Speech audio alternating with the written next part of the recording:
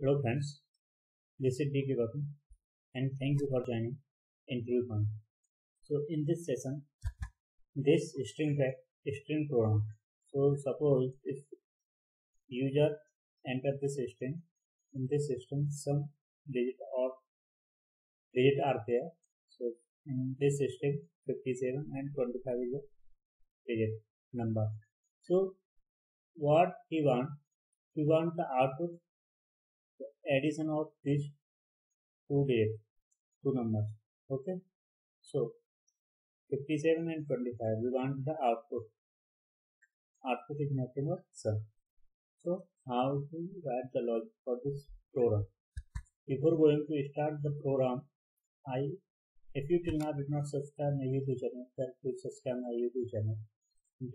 Here you will get all the most important interview questions, latest interview questions, C questions and Java interview programs, Java tutorials for beginners and Java interview point, interview questions, tracking programs, C interview questions, SQL Server, ASP.NET and C sharp.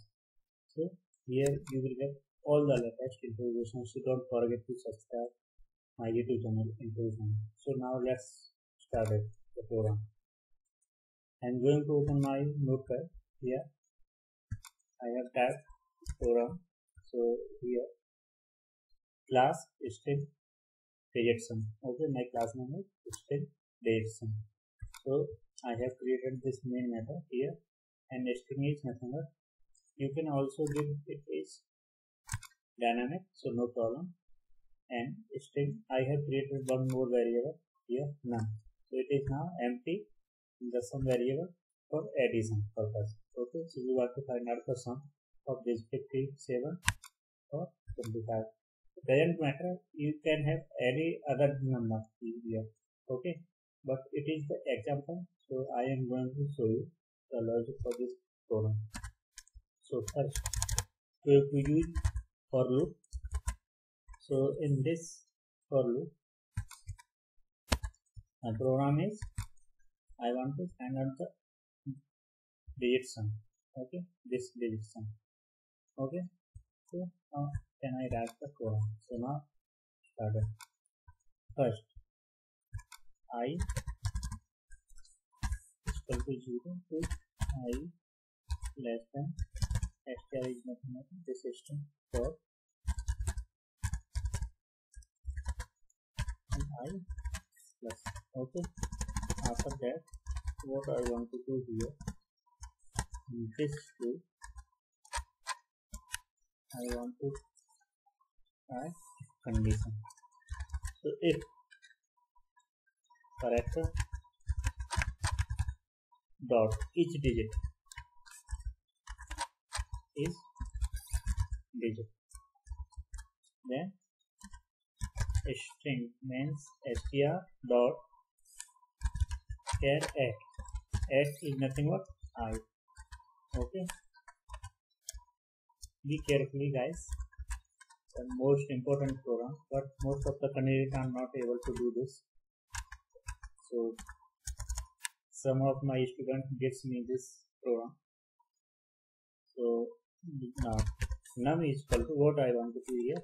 I want to add this value. If this loop if we will find out this number so it will add in this num variable okay so num is equal to num plus str dot um, char at.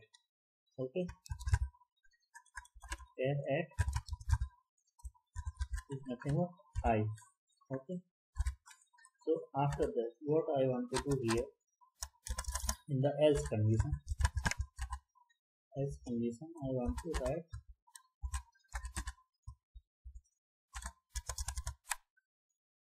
if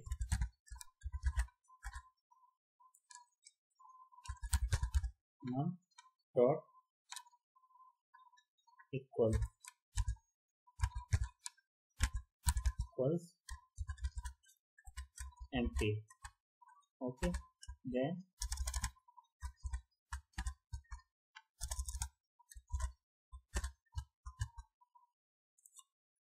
sum is equal to sum plus integer. Integer dot parse and int. Number. I want to parse the number. Okay because here you can see here so the number is string. Okay so after that I want to empty this number here so for that purpose num is equal to 10 okay. In the end of this loop I want to print this number. Sum okay so understand the logic of this program.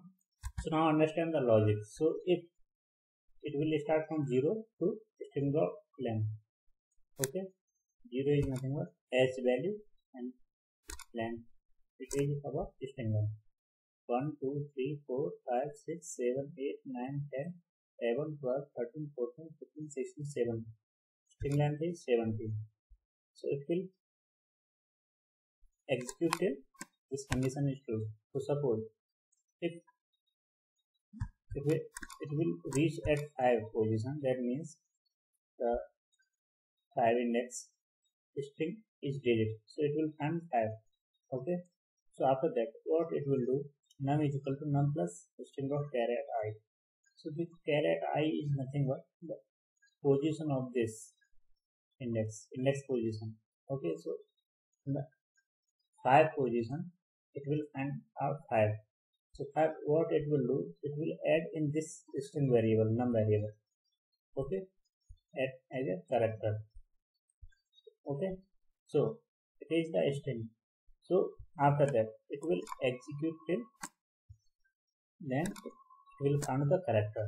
If not found, then what it will do that in the else part, it will you can see here in the else part. So in the else part, if num is not equal to equals this empty that means here we have a number or more more numbers okay more characters so it will if condition is true so if condition is true then it will come here and sum. Sum is nothing but integer type variable. So it will add. Because it is parsing why it is passed? Because here you can see here it, it, is the string variable. Okay so we need to pass in the integer. That's why I am using integer dot parsing. Okay so it will parse and after that adding this number in some variable after that it will empty this num variable so it will execute and give you the output to the user. So now I am going to save this program. So my class name is string digit sum. So first suppose my class name is another name okay. Digits my class name digit sum.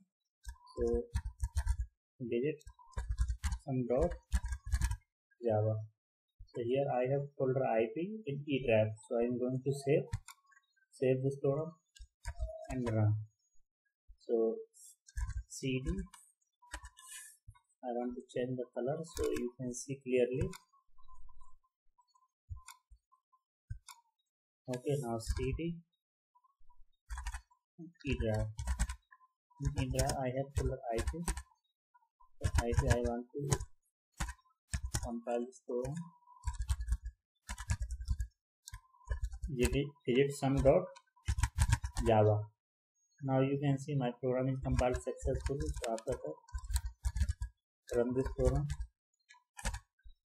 82 we will get the output 82 so like that we can type our logic for this pattern uh, this string program okay guys so thank you for watching this videos.